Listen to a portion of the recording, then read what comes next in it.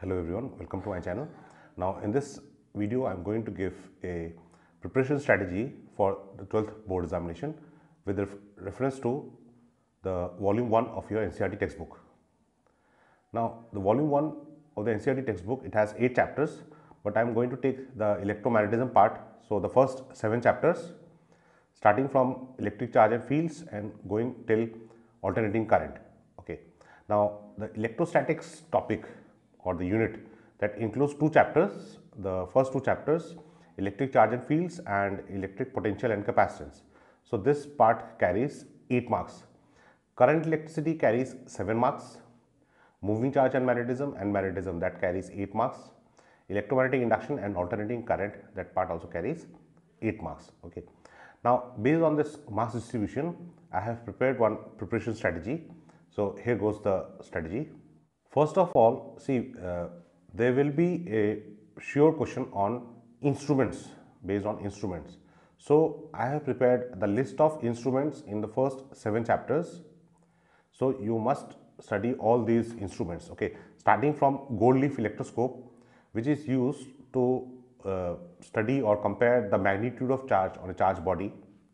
Then you have Van de Graaff generator. Now this Van de Graaff generator, it is not there in the CBSE syllabus, but it is still there in uh, some state board syllabus, including the Assam High Secondary Education Council. Okay.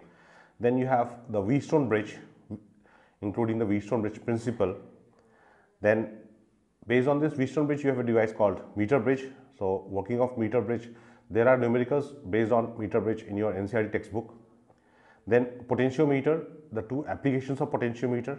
So see, uh, questions have been asked based on applications of potentiometer, but numericals on potentiometer is also quite probable.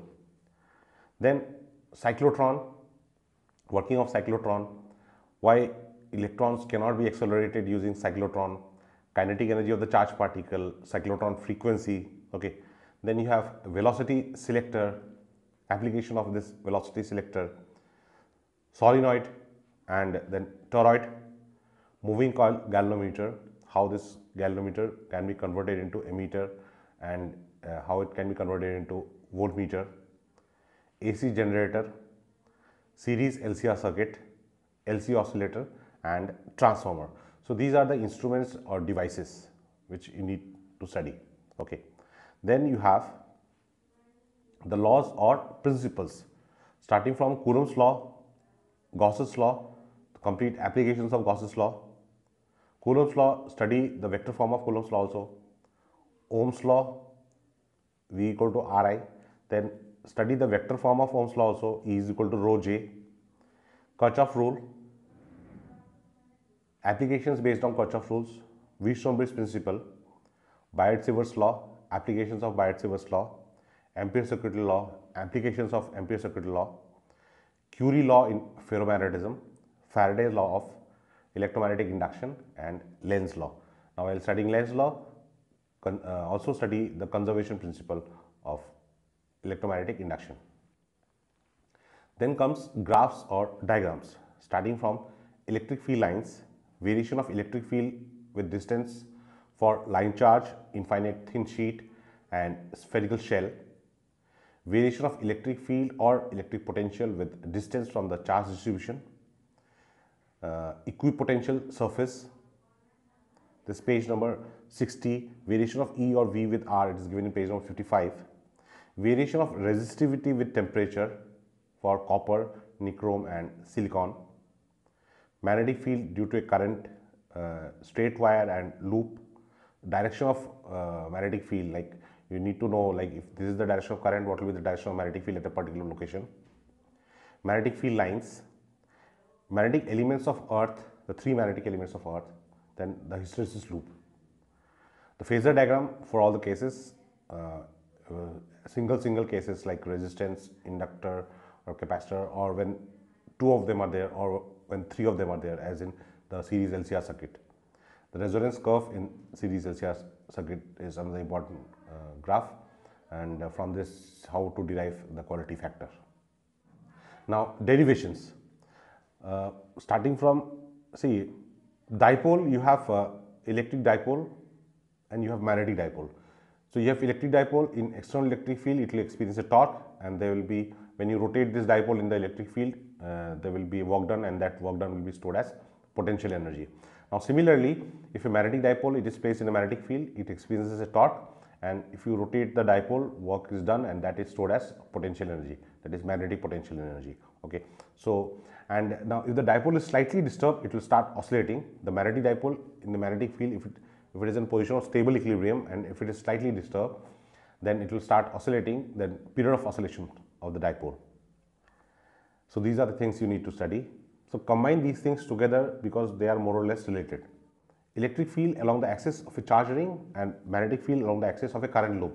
Both the de derivations are almost identical. So, practice them together. Gauss theorem, proof, application, application electric field for various charge distributions. Similarly, you have uh, Ampere circuit law, its proof, applications, magnetic field for various current distribution. Okay. Then you have capacitor, principle of capacitor, uh, capacitance, calculation of capacitance of a parallel plate capacitor, spherical capacitor. What is the effect of insertion of dielectric? Now, this insertion of dielectric after the capacitor is charged, like uh, after disconnecting it from the source of potential or when the source of potential is kept in contact with the capacitor and the dielectric is inserted. What are the changes in the potential, electric field, potential energy, those things you might have to calculate. Then you have grouping of capacitors, grouping of resistors and grouping of cells okay in series in parallel okay in uh, cells you have mixed grouping of cells also and in cells you may have to ask uh, you may be asked to find the condition for maximum current in series grouping and parallel grouping. Then you have drift velocity, its relation with electric field, mobility and then finally Ohm's law. Then you have expression for motional EMF, uh, from that expression for current and then power, okay.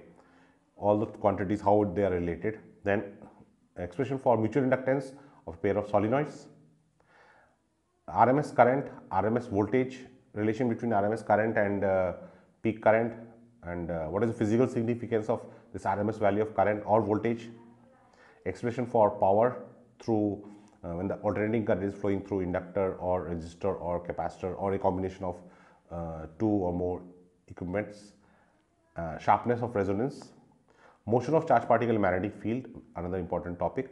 Uh, when the field is transverse to the direction of motion of charge particle, then the charge particle moves in a circular path.